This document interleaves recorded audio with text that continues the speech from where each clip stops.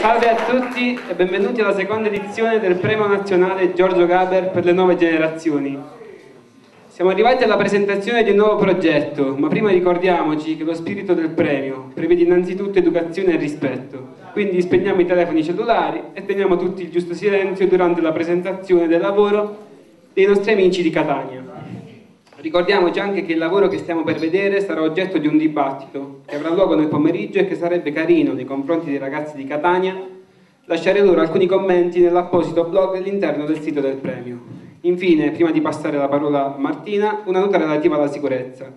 In caso di necessità, le uscite di sicurezza sono poste ai due lati della sala, una in fondo a sinistra ed una accanto al palco sulla destra. In ogni caso facciamo sempre riferimento al personale del premio e ai nostri insegnanti.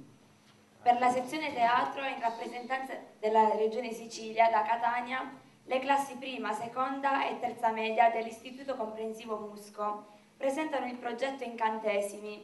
La referente del progetto è la professoressa Enrica Mallo. Lo spettacolo parla dell'incantesimo dell'arte che sopravvive all'orrore.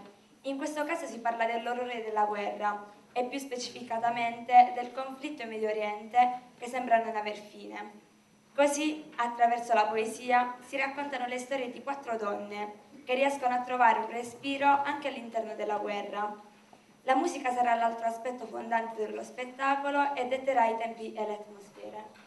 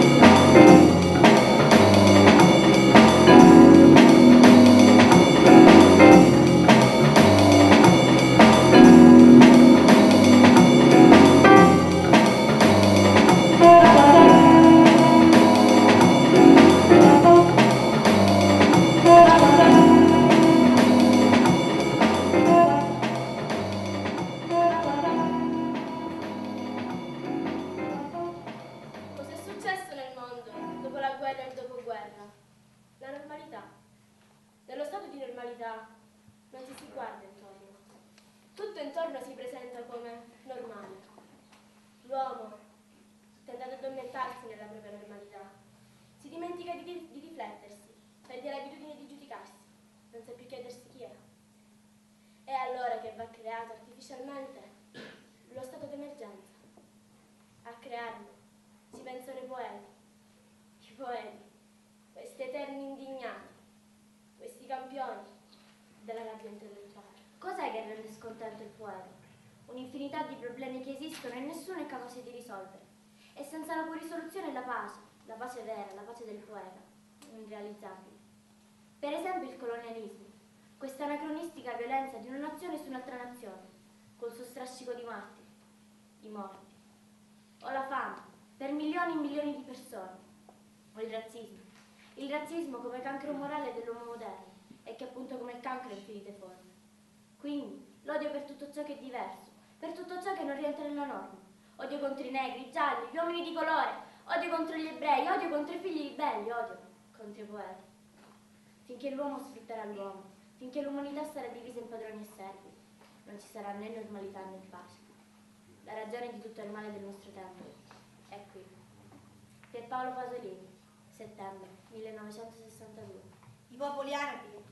meritano la democrazia. E durante le rivoluzioni e la resistenza che i poeti vengono toccati dal potente soffio della creazione. Il poeta è necessariamente un visionario, non un veggente, ma percepisce ciò che deve assolutamente cambiare. I dittatori farebbero bene a leggere poemi, e invece li disprezzano, fino al giorno in cui la resistenza popolare diventa essa stessa una sorta di poema. A sette anni smisi di giocare e ricordo bene come e perché. In una notte d'estate fu improvvisamente svegliato da mia madre e mi ritrovai a correre con centinaia di contadini nei boschi inseguito dalle pallotte.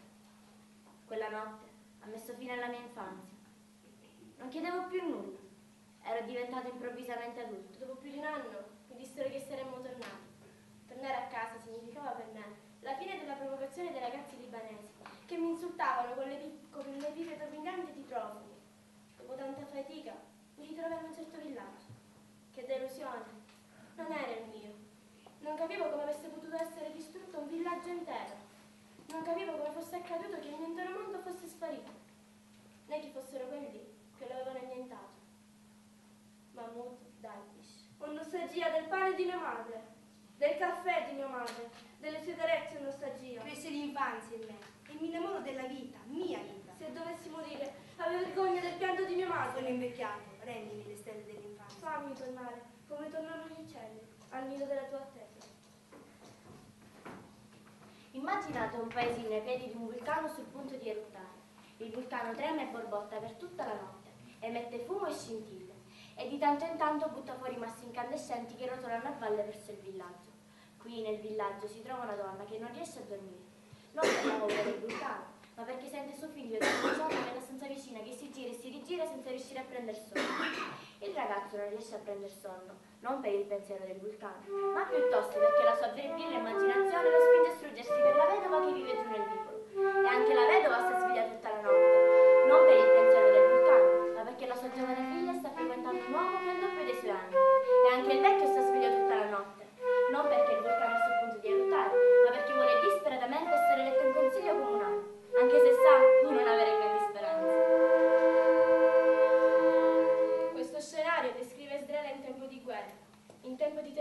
occupati palestinesi, di minacce di distruzione nei confronti di Israele, di terrore, di insediamenti, di paura esistenziale. La vita quotidiana, la routine, va avanti a dispetto di tutto questo, va avanti da un anno all'altro, con tutte le sue meschinità e tutta la grandiosità dei suoi eroismi. Ma questo scenario non è una semplice descrizione di Israele, dal giorno in cui fu fondata nel 1948 ad oggi, è anche una rappresentazione della condizione umana. Ora immaginiamo che nel villaggio delle pendici del vulcano viva oltre alla vedova e sua figlia, oltre al ragazzo e al politico, uno scrittore. Che cosa farà lo scrittore del villaggio in quelle notti rischiarate dai bagliori della lava? Deve alzare la propria voce per protestare? Uno scrittore lavora con le parole. Questo impone allo scrittore una responsabilità verso il linguaggio. Ove parole piene d'odio vengono brandite come un'ascia contro gruppi particolari di esseri umani, non tarderà a fare la sua comparsa una vera ascia. Lo scrittore può essere il vigile del fuoco del linguaggio, o almeno il rilevatore di fumo. Può, e quindi deve. Ogni volta che la gente usa per un gruppo etnico, religioso o altro termini come sudicio, crescita cancerosa o minaccia strisciante, lo scrittore deve alzarsi e suonare il campanello d'allarme del villaggio. Molti intellettuali europei prendono in giro gli americani in generale e Hollywood in particolare, per il punto di vista superficiale e infantile tipico del film western, dove è sempre ovvio che è il cattivo e che è il buono.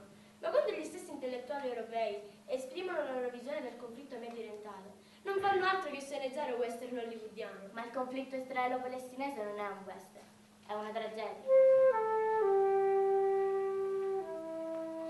È una tragedia nel senso classico del termine. È uno scontro tra due cause giuste. Gli arabi palestinesi sono in Palestina perché la Palestina è la loro madrepatria. Non hanno Gli ebrei israeliani sono in Israele perché nel corso di mille anni non c'è stato altro paese, altra nazione, in cui hanno potuto sentirsi a casa. Come individui sì, ma come nazione gli ebrei non hanno mai avuto altra patria che Israele.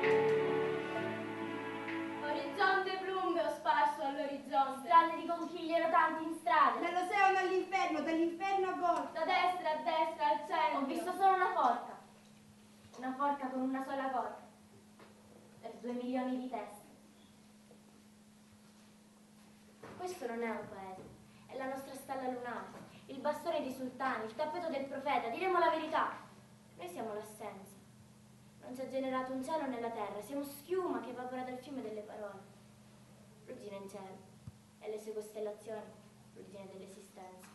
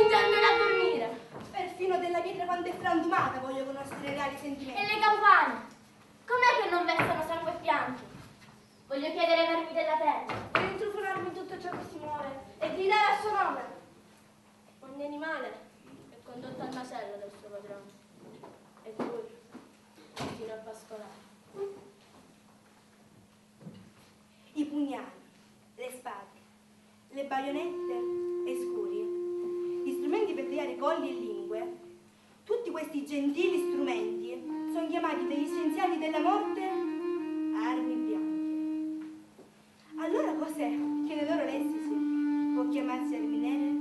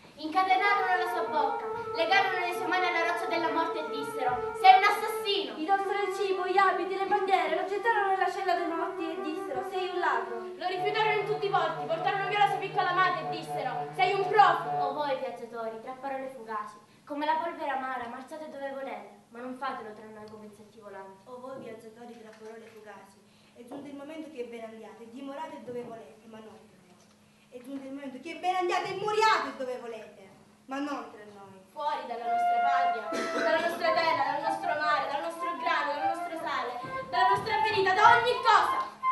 Uscite dai ricordi della memoria.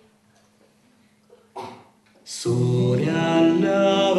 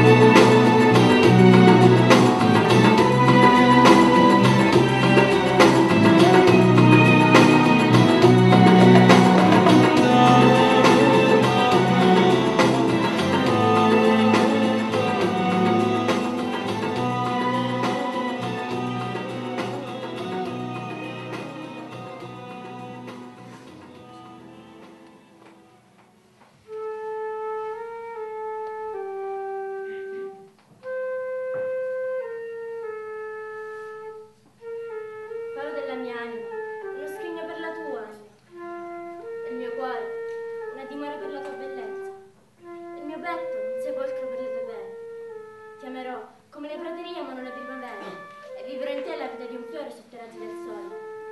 Canterò il tuo nome, come la valle canta l'eco delle campane. Ascolterò il tuo nome, come la spiaggia ascolta la storia del leone.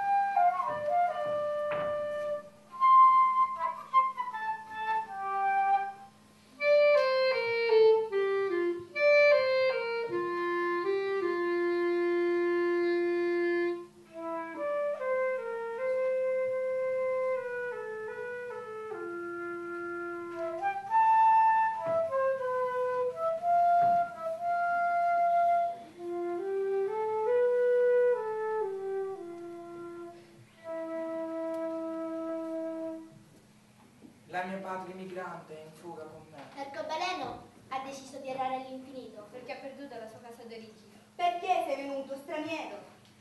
Perché sei venuto straniero? Perché sei venuto straniero? Perché sei venuto straniero? Per fuggire di là, da paesi impazziti, dove non c'è più niente verso cui rivolgermi a pregare, salvo le tombe dell'iso, dell'Ido, e gli archi di trionfo, ricoperti da un di polvere, ed impositivi di cadaveri di fiori impiccati nei matrimoni dei barbari. Di là, dove la gente sotterra la propria infanzia nelle lacrime, la gioventù nelle delusioni, la vecchiaia e la pazzia dei pazzi, la morte, a cui non serve altro nome che morte. E cosa vuoi fare qui, buon uomo? Continuare la mia vita in silenzio. Libererò il mio spirito sotto le un piccione delle piazze e inviderò la libertà del canto. Camminerò, come l'orfano, ai margini delle dimostrazioni studentesche e allo sventolare delle bianche, dove l'unico scopo è quello di dire la libertà è più preziosa della parola. Sorriderò alle donne sui marciapiedi e accarezzerò le vecchine tristi nelle panchine dei giardinetti. Curerò la mia malinconia fischiettando e cullerò lo scolore del mio animo coi sogni. E quando gli incubi mi assaliranno, uscirò dalla luce della terra e vagherò per le strade come turisti squattrinati, il bavero della giacca sollevata, il cuore in pianto sulla mia bocca, gocce di pioggia pulita come le lacrime degli orfani. Oh Signore, fammi tornare all'utero di mia madre.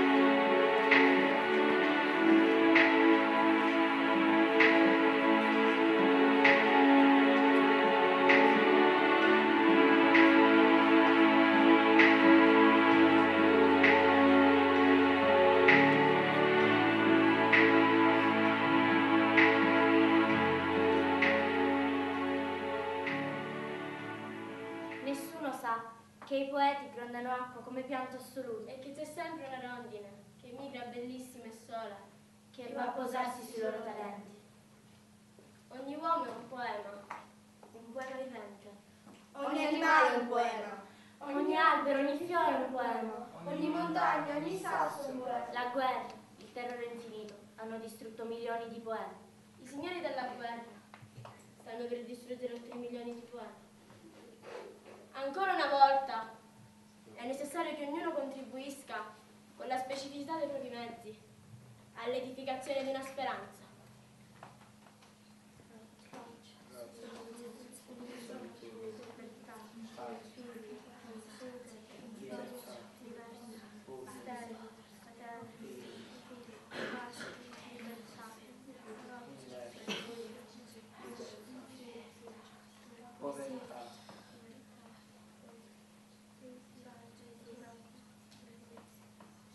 Poesia.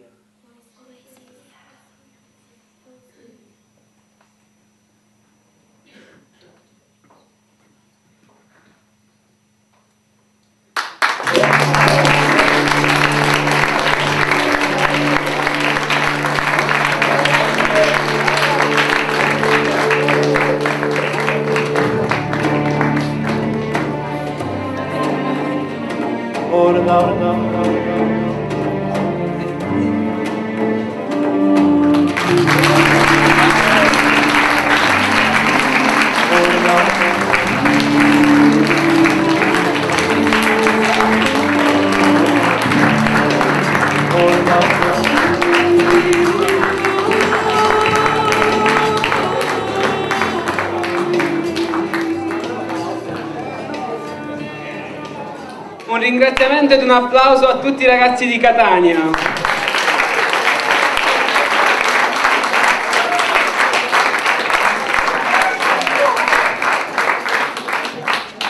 Passiamo a conoscerli uno ad uno.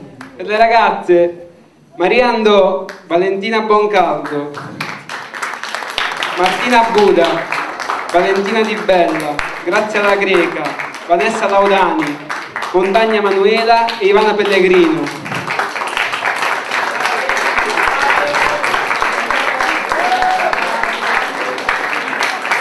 I ragazzi Portaro Angelo e Francesco Zumbo.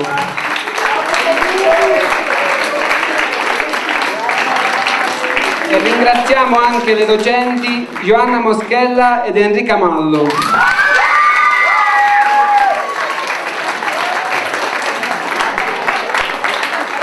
Un ringraziamento anche ai genitori e all'accompagnatori